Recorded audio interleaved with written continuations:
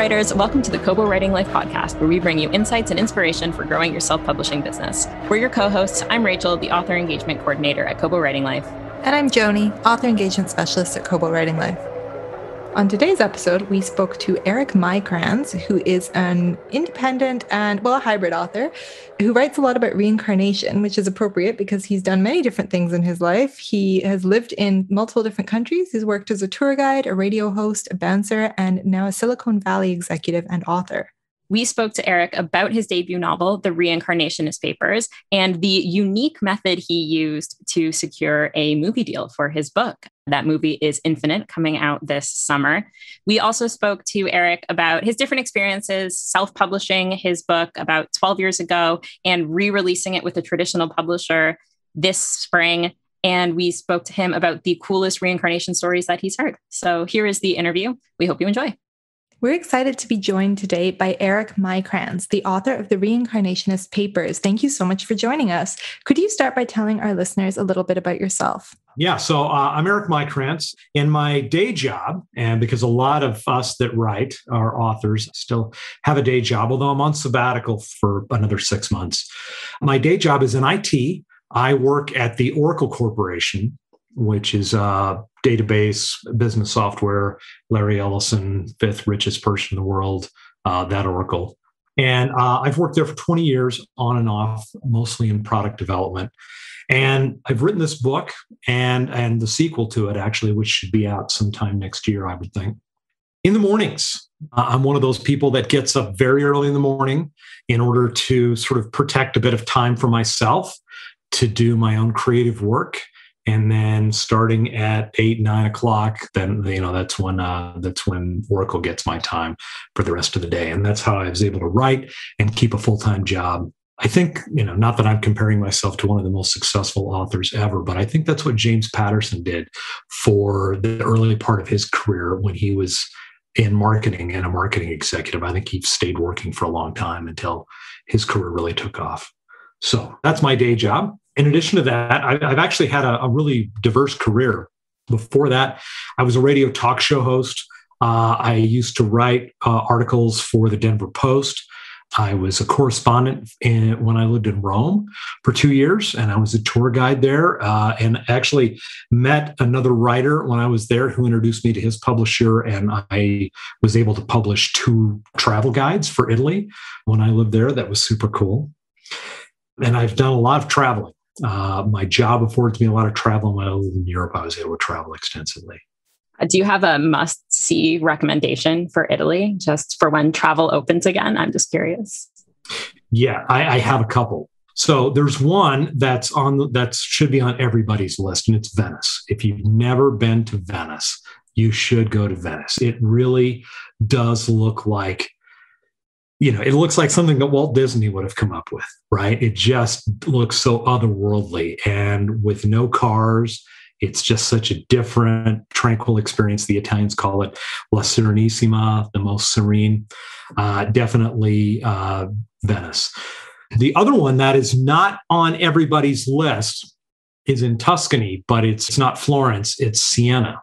And if you've been there, you know exactly what I'm talking about. But if you haven't been to Siena, it's it's one of the best food towns in Italy, and it is just sort of quintessential Tuscan time capsule. Yeah, it's lovely. I spent a year in Arezzo, which is just around the corner, and then oh yeah, yeah, and I also studied at the University in Verona for a year, so around the corner from Venice. So yeah, it's that's right. Um, definitely second those recommendations. There's there's so much to see. so I have a funny story about Verona. So I traveled to 60 something countries, mostly as a backpacker.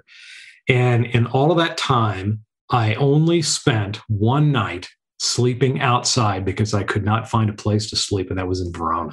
No way. Where did you sleep in the end? I slept in the park right in front of the old amphitheater. Right. Because I had traveled there to see Carmen Graves sang, uh, or uh, uh, Denyce Graves sang Carmen there, and uh, and the place was absolutely mad. It was so packed, and so I had to sleep in that park right there. Wow, I saw Carmen in the arena.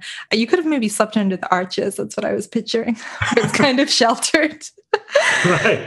Thank goodness it was in the summer and it wasn't raining. Yeah, no, Verona is crazy during that season. I thought it was interesting the fact that your book kind of deals with resurrection and reincarnation and how many different career paths you seem to have done and how many almost past lives that you've had. Well, yeah, there is a there is a bit of a parallel there, but it's it's not really specific to me, it, it ends up being specific to almost everybody. Um, I, I may be an extreme case in that, you know, I've worked in finance, I've worked in IT, I've been a radio talk show host and a tour guide, and, and now a novelist. But when we think of reincarnation, when we think of past lives, it's really easy to think about that. Oh, well, that was in the you know 20th century. That was in the 19th century. It was in the 18th century. It's really easy to think about past lives as being distant things but we all end up living different lives in, in our life now. We're children we're students we're workers we're parents we're grandparents. Hopefully we make it to be retirees. And at each one of those different phases in your life you sort of reap the benefits of what you did in the previous life like when you're when you start your working career you typically leverage the things that you learned when you were a student and so you pay that forward to yourself as, as, as sort of like the benefits of a past life. I have this quote on my desk that I've had on my desk for years when I was writing the novel and when I was editing it and when I'm writing the second one. And it really encapsulates this perfectly. It's from uh, a 19th century American spiritualist, Frederic Henry Hedge. And it says, Every man is his own ancestor and every man his own heir. He devises his own future and he inherits his own past. So for me, when I went to university, I actually didn't study, I studied a little bit of computer science, but I studied Russian language and literature. So my literary background is sort of the Russian giants. And that equipped me to write a big 430 page novel right? I didn't do that right out of college but that training that that that experience in that past life i sort of gave that to the you know to the 40 year old eric when he was writing this book. And so that's sort of an inheritance. So in a way i might be an extreme case in that i've had a lot of different experiences in my life but i think most of us are like that. And i think it's good i think it's getting more and more like that where you know we don't typically go and work at a company for 20 30 years and retire. We tend to work in this industry and then that industry and then a merging of the two industries and then we've got gigs on the side. So i think a lot of us are getting a little more diverse in in how we live our lives and those lives tend to in my mind those those lives we tend to live sequentially in this in this one lifetime. So very long-winded answer joni but uh, but i hope that makes sense. Yeah, definitely. Can you tell us a little bit about the research process? Because you cover a lot of different points throughout human history. And I'm just curious about was there a lot of research involved and how do you approach that? There is a lot of research involved. And for those Kobo listeners who haven't read the book, the book is, uh, I should probably do this as sort of a brief preface. The book is about a young man who is troubled by memories of two past lives and when I say memories of two past lives, complete memories, skills, experiences, languages, everything. And he thinks that he's alone in this world and lives a very solitary existence until he accidentally stumbles upon a secret society of others like him, a centuries old secret society of people who remember all of the details from their past lives. And most of these characters are actually centuries old. So they've lived over and over and over multiple lives. So this gives me, as the author, a very long timeline to be able to develop these characters and to put them in different historical situations. So that's where the big heavy lifting on the research came in, Joni.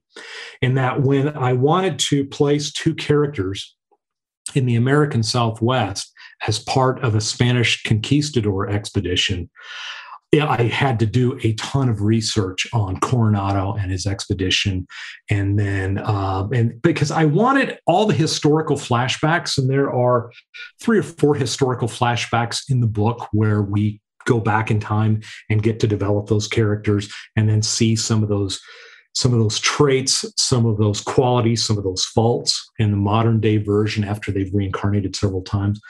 I wanted the research to be as good as possible because I don't know about you, Rachel and Joni, but when I read a book and I can see that it's a little thin on the research, I just, eh, it makes me question other things in the book. And I just didn't want to do that. I didn't want the book to come up short in any reader's mind when they were reading it because of just a lack of basic research. So I end up reading a lot, and I end up reading a lot on history, um, and and I end up using about a third of it of, of all that I research. and up using it in in a book sometime. It definitely read very thoroughly researched. I was curious, did you have certain time periods in mind when you kind of were developing these characters originally and then you went to research them or do you kind of have like a grasp on history and you're like okay i'm going to research first find something interesting and then put my characters there yeah, Rachel is a brilliant question because it's actually a combination of both. There are a handful of historical things that I want to attach to.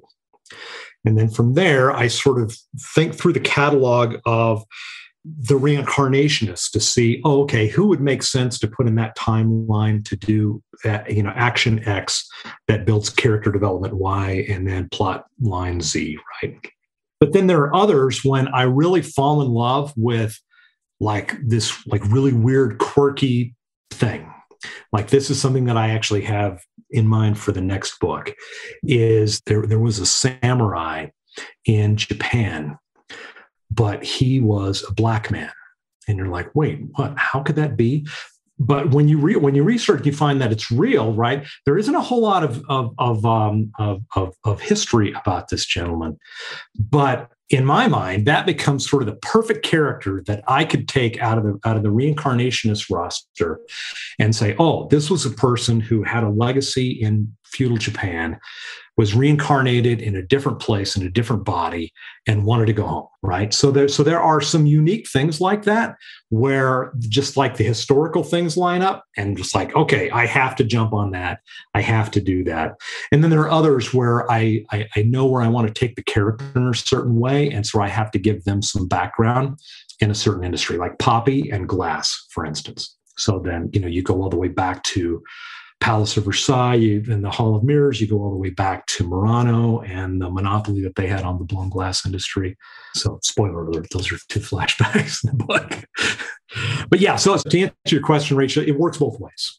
So, you mentioned at the beginning that you had originally published the Reincarnationist Papers yourself, um, but you did something kind of unusual. Can you explain to our listeners what you had done with that book? Yeah, I can, Jody. So, in 2008, I'd finished what I thought at that time was the final draft. Once you work with a traditional publisher, you find out that there's a lot more editing that's required, uh, and that was that was one of the things that I learned on this journey.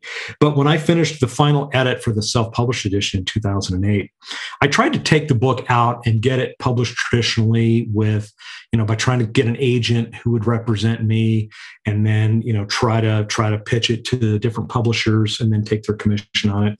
And I everybody liked the book, but um, they, they had a hard time envisioning how they would pitch it and how they would sell it. So eventually, all of those things sort of fell through. And so I decided that I would self publish the book. And, and one of the reasons why is because everybody that read the book really loved it. And said, Oh my God, this is so good. I want to read another one. Please continue writing in this series. And they would tell their friends. And so I decided that I wanted to self publish the book. And I did. But I, I borrowed a lesson from my day job at Oracle. One of the things that we do at Oracle is we, we work with the end users or the customers that we have, and we collaborate with them in a very open way around developing software programs, for instance. And, and, technically, the IT Silicon Valley speak for this is crowdsourcing. And this is where you define a goal of something that you want to accomplish and you ask for the end user's help to say, hey, would you like this product to work this way or this way? Give us your thoughts, try working on this.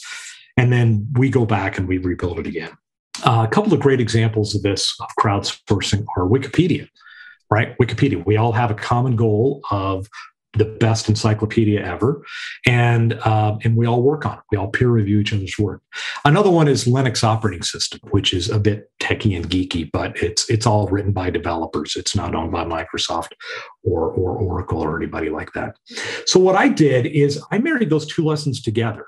That my readers like the book and that there had to be a way that I could engage them to help me get the book to a wider audience. So, what I did, I put a reward on the first page of the book. And the reward was basically an open call to action to anybody that read the book.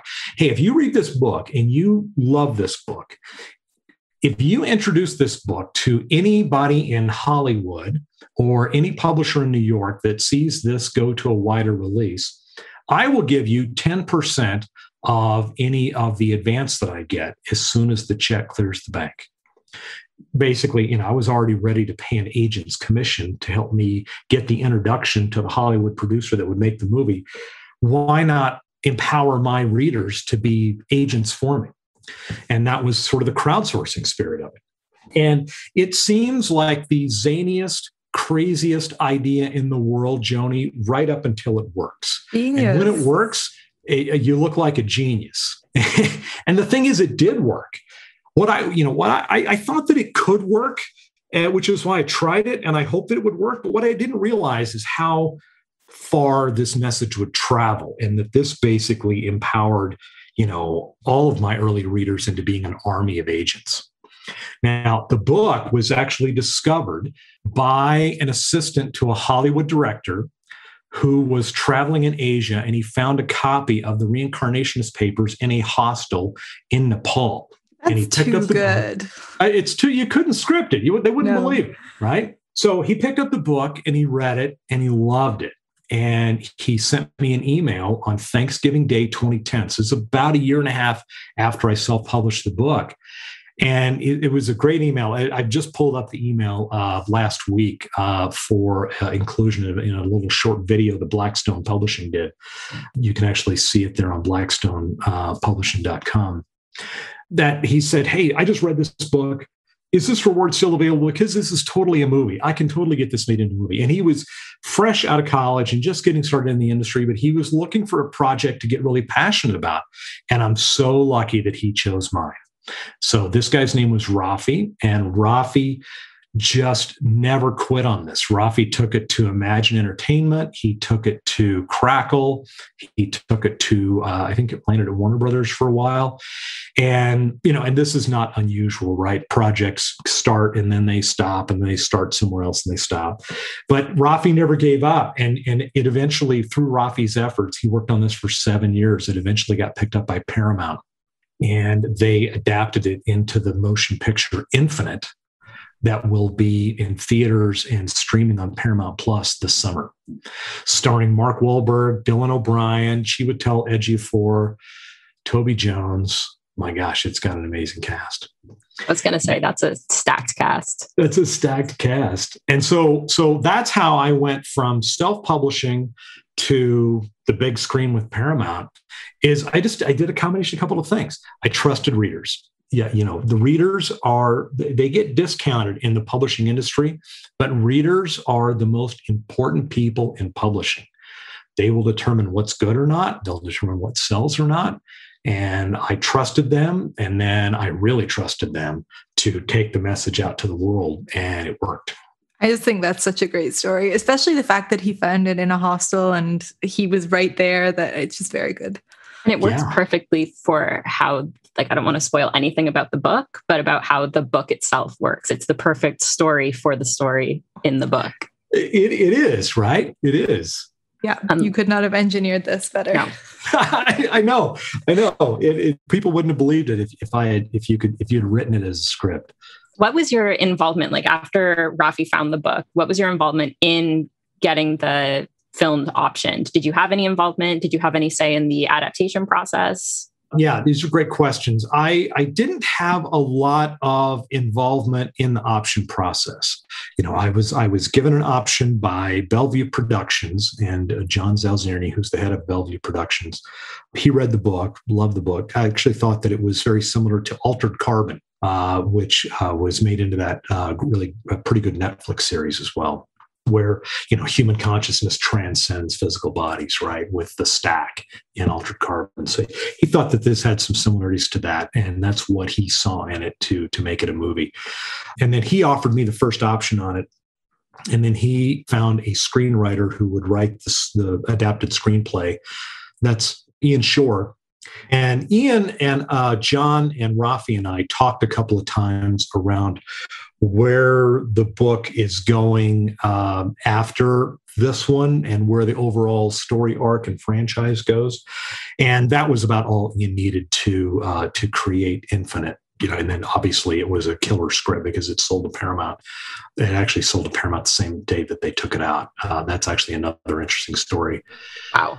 And so you know and so I, that that's that's the input that i had. And then the rest of it i've been uh, i've just been enjoying this. And uh, and really the thing that i've enjoyed most is the new friends that i've made and rafi Crohn john Zaozirny, and ian shorr uh, is th- through this process. So you mentioned talking about the editing process I'm curious, since you self published, how have you found dealing with a traditional publisher? Like, what's different? What, what have you learned? What kind of differences did you notice?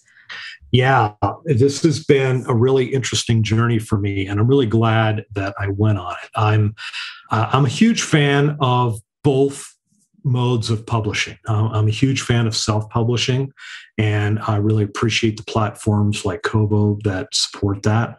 But uh, I'd always wanted to be traditionally published, and uh, you know there there are some trade-offs on both sides.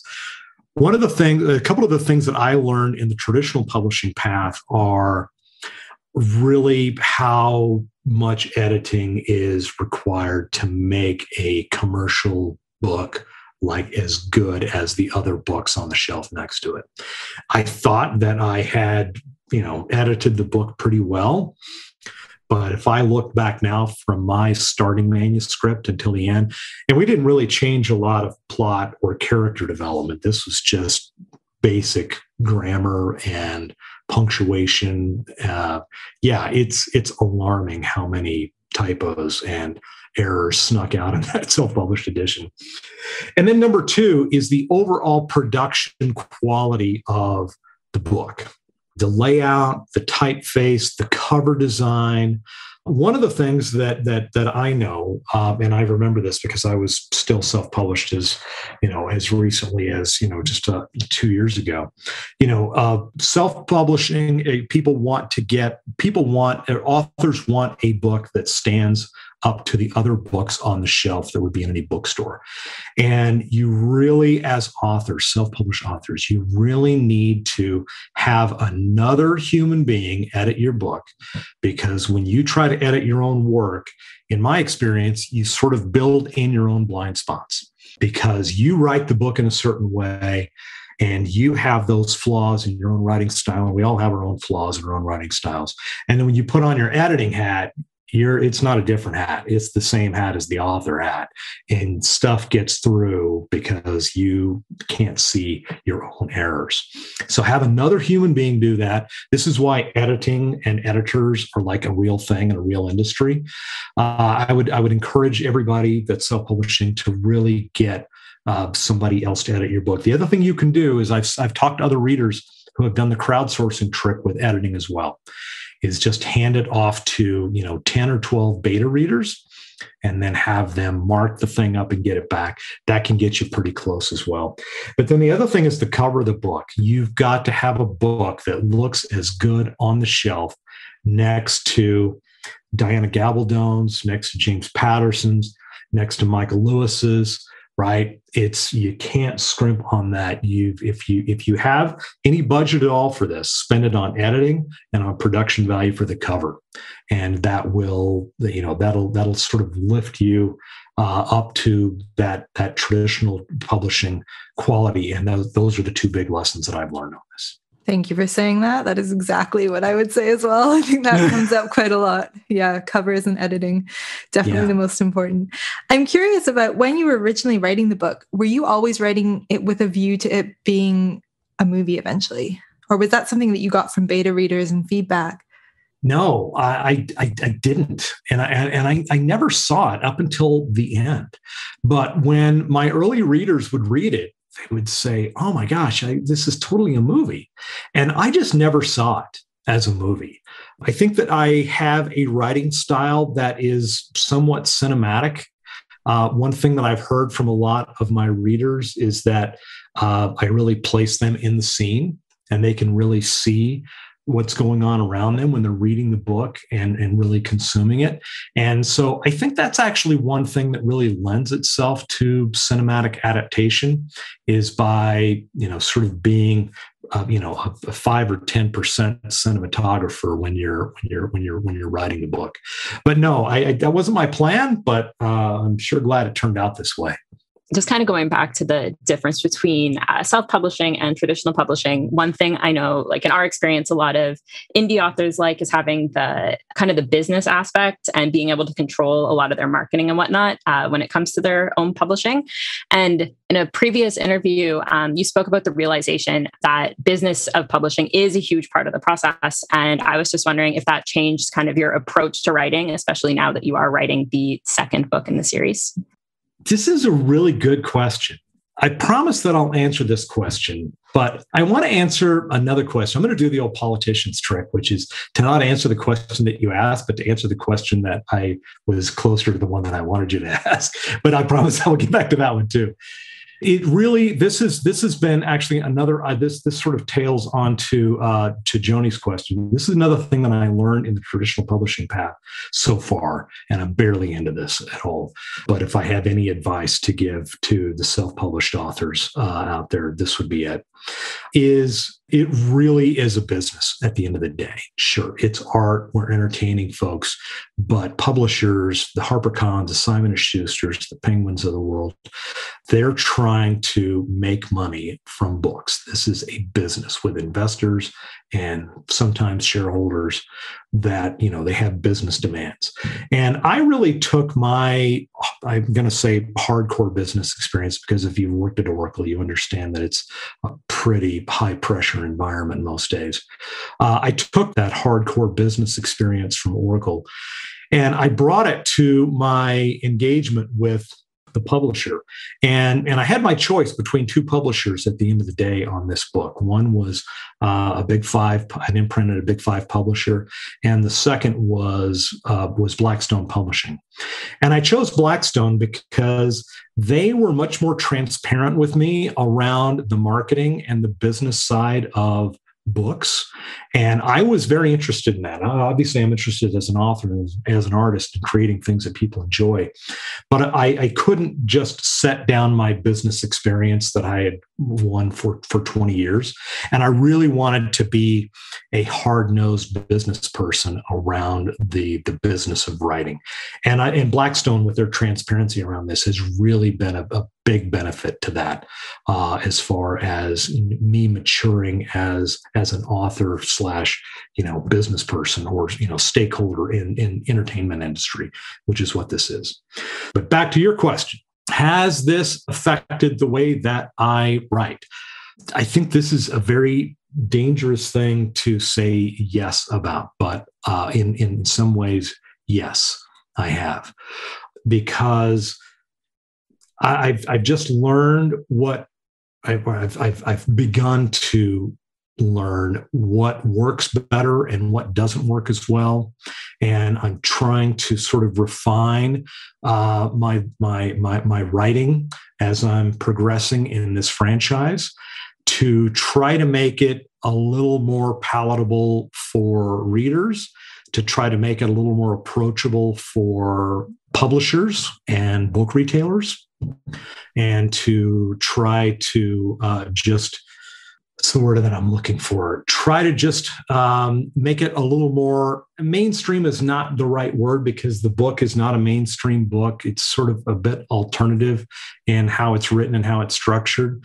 But certainly from the business execution side, I want it to be easily recognizable as the second book in a franchise as the second book in a longer franchise so that publishers know what they're dealing with readers know what they're dealing with bookstores know what they're dealing with things like that. So that's that's like one concrete way that it's changed. Uh, you know i the rest of the ways i hope that it doesn't change. I hope that might continue my my same sort of alternative hopefully unique voice that people like and I think that's a challenge that a lot of writers kind of face is the balance of writing exactly what you want to write, but also writing to market. Because at the end of the day, like you do want your book to land in the hands of readers. Yeah, yeah I, I do. And, and yeah, but you know, you don't want to be you know, I, if you've ever seen like those some of those Hollywood movies, like The Player comes to mind, right?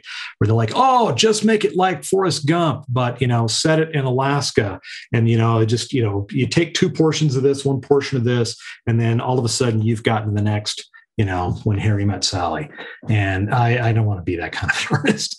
Yeah, and the publishing industry does that too, right? They want to play it safe. Yeah. They want to say we want something like this, but oh no, you've we've already done that, so we can't have it exactly like this. We want it safe but a new voice. So yeah, it's challenging. It, it, it really is challenging, and it's funny to look at the trends over time to see how sort of close people come to that same sort of anticipated target where they think things are going to sell. Do you see a time when you will be writing full time, or do you like the way that you're doing it now?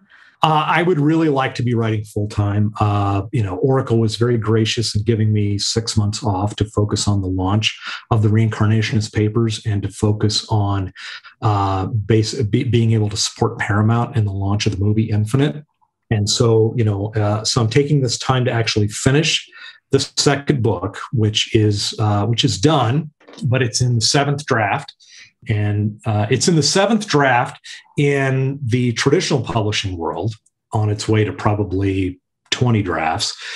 In the self publishing world, like where, where I thought quality was in 2009, it's probably, you know, it's probably on draft three or four. That should be a lesson that it's your stuff. When you think you're done, you're not done. I, I, I love Walter Mosley's quote about editing. He said, you know you you you go back and you edit the book you know you, you read your last draft you identify what's wrong with it and then in the next draft you go back and fix it and then you reread that draft you see what's wrong with it and you go back and fix it. And when you get to where you read it and you see what's wrong with it and then you don't know how to fix it that's when you're done. That's when the book is done. Without any spoilers can you give us like a sneak peek about what the second book is going to be about yeah, the second book picks up with a reincarnation, one of the characters from the first book. And it takes place a little later. Obviously, this the reincarnationist papers takes place in the in the late 1990s, and it's about it's about that character coming home, and it's also about the the reconciliation and consequence of an excommunication out of the secret society uh, centuries ago. Interesting. Vague enough to not give anything away, but I'm excited to read it. Okay, awesome. and this is a slightly different tangent that I'm going on here, but I saw on your website that you have a section where you solicit people's real life reincarnation stories. Yeah. And we thought that was really cool. And I wondered if you have a favorite real life reincarnation story that you've heard or that someone's told you. So there's one on there that uh, that I really liked, it was about the woman who remembered being in this village and that she I'm going to try to remember this right because this is the way the, the, the way that she wrote it. It's actually on ericmaikranz.com. Uh, it's posted out there. The way she wrote it is actually very cinematic, and I could really see it in my mind. And that she, uh, the the village was being attacked, and uh, she felt she when she knew that she was outside of the city walls like when she could see the landmarks like in the in the city and this is like in the 17th century when she could see the landmarks inside of the city walls and she knew that she was outside of the city walls that's when she knew that she was in danger because she had been taken out of the safety of the you know the fortified walled city and just the way that she wrote that and the way that she communicated that, you really do feel the emotion that she felt in that past life recall. And um, that was that was that that one really touched me. Wow, it's such a fascinating topic. It is. Uh, do either one of you uh, have any memories that don't belong to you? No. I, I do. do. not. You do? You do? Yeah, that was actually one of the one of the sort of the the, the starting points for the book. Is yeah, I, I you know I was born in the in the in the late 1960s. Sounds like a thousand years ago at this point, but I actually have three memories that don't belong to me, but they're as real as any memory that I have. They seem to date from uh, the 1940s back to the 1870s. Uh, they're very short, like five seconds to 30 seconds, but you know, they're as real as anything that's ever happened to me. And it sort of, you know, makes you question, well, geez, you know, what's, you know, what does that mean? And uh, I'm not a metaphysician. I'm not going to, you know, theorize on, well, this proves that reincarnation is real because I have these three anomalous things that happened to me. But uh, it actually did serve as the idea for what would what would it be like if not only if you remembered your past life, but you remembered every single detail, right? You remembered every language that you spoke, everything that you learned in school, every person you ever met, every skill you ever learned. And then all you have to do is sort of add that lifetime over lifetime to have some pretty rich characters uh, that have a lot of skill and a lot of um, a lot of advantage over over normal people who have you know a limited you know 60 70 80 year timeline yeah that's incredible so just to recap where can our listeners find you online so uh, the best place to find me online is ericmaikranz.com, my website, and that last name is it's E R I C M A I K R A N Z. And the readers need to sign up for the Insiders newsletter because there I will uh, I provide people on my newsletter with some insider content. Uh, some of it is some additional research that I did around reincarnation. Uh, some of it is some third-party research around reincarnation. Uh, there are there's one hidden chapter to the reincarnationist papers that is available now, chapter 7.5, that sort of slips in right between chapters seven and eight. But you can only get that by signing up for my newsletter on ericmaikranz.com. And I'll also be putting out at least one more hidden chapter in the reincarnationist papers. And I'll be putting out some sample chapters from the second book in the series on that site. Uh, I'm also on Twitter and I'm also on, uh, on Facebook. Fantastic. And Infinite is out now or it will be out in the summer? Infinite's going to be out in the summer. Paramount Plus?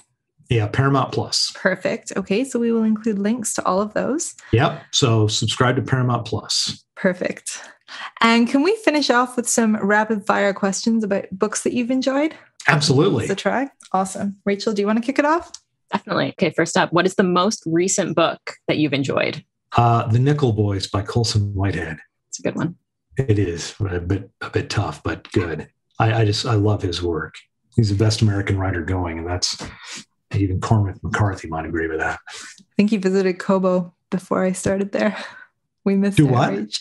He visited the Kobo office just oh wow to, to launch. I think it was to launch the Nickel Boys, but we we yeah. didn't work there then, so we missed it. Oh, okay. And your all-time favorite book?